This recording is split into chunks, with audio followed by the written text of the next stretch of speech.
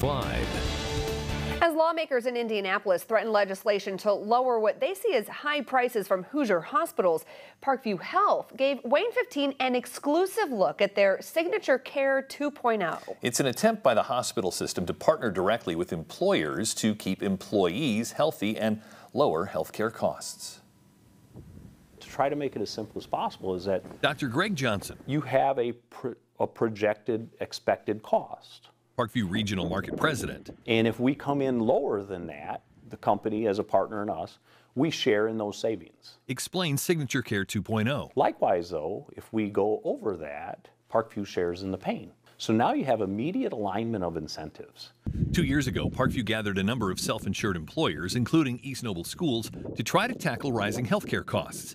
CFO Brian Leach says it's working. When other companies are seeing medical costs increase anywhere from 12 to 18 percent, East Noble's looking at anywhere from 3 to 7 percent. Play that out over years, and you can see 3 percent in red, virtually flat. But 18% leads to doubling in five years, tripling in six, and a six fold increase in 11 years. But is it as simple as just keeping people healthy?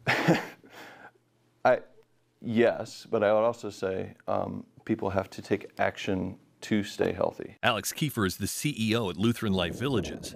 The program leverages the doctor patient relationship to encourage people with chronic health problems, think diabetes or obesity, to improve their well being. Healthier workers means lower costs. And so sometimes our health just falls by the wayside. I think what the, the care coordination aspect that this program has brought, that relationship then becomes a powerful tool to build that trust and say, oh yeah, I should, probably should do that.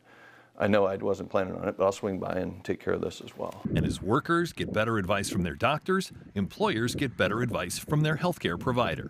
Knowing that you have that that, that person on your side, that part of you is there with you.